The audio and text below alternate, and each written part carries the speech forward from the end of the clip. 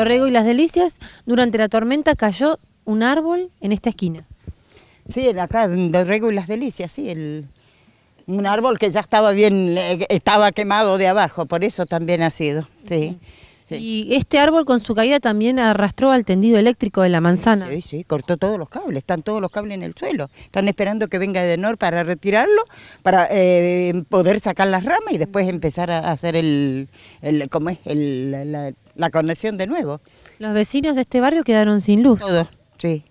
La mayor parte, no todos, porque hay una fase que tenía luz, pero ahora está cortada totalmente, así que... Y la policía está haciendo un relevamiento para colocar cintas de aviso y de precaución. Sí, porque es un peligro. Están todos los cables en la ca- eh, tirados en el suelo, así que cualquiera que pasa pisa eso y quedan pegados ahí.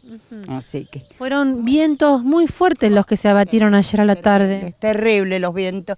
No, no, no le puedo precisar cuántos kilómetros, pero era bastante fuerte. Era un- un- una especie de tornado, tornado era. ¿sí?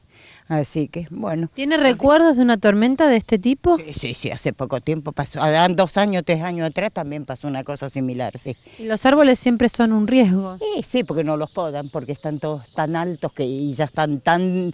eh, son añosos estos árboles. Tienen, no sé, yo hace 46 años que vivo acá y los, y los árboles están, son, ya estaban grandes así, así que...